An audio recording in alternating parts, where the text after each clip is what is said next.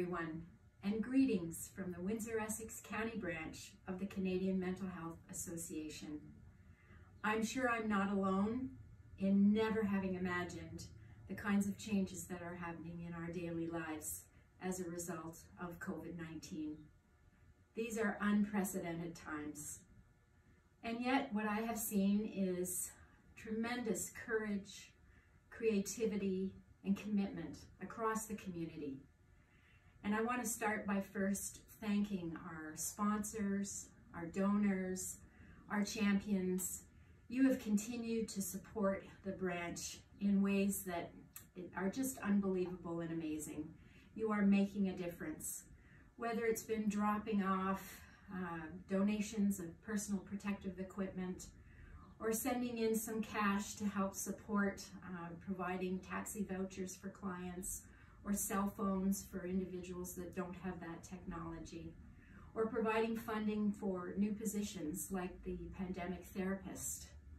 We are so grateful for your continued support despite all of the challenges. And I also want to thank our staff. You continue to be so dedicated and committed to the clients that we serve.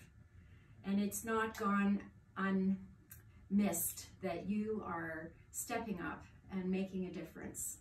You are taking on new roles. For some, it has meant taking on a role as a screener or learning new cleaning practices or how to swab uh, a, a patient.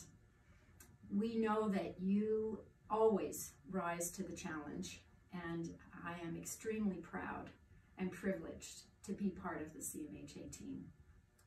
And to our community, I just want you to know that we will continue to find ways in which to support you through these challenging times.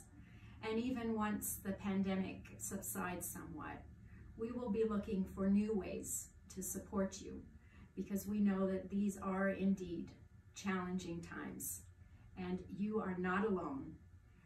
We want you to know that we are here for you and we want you to stay safe, stay well, and keep connected. Bye for now.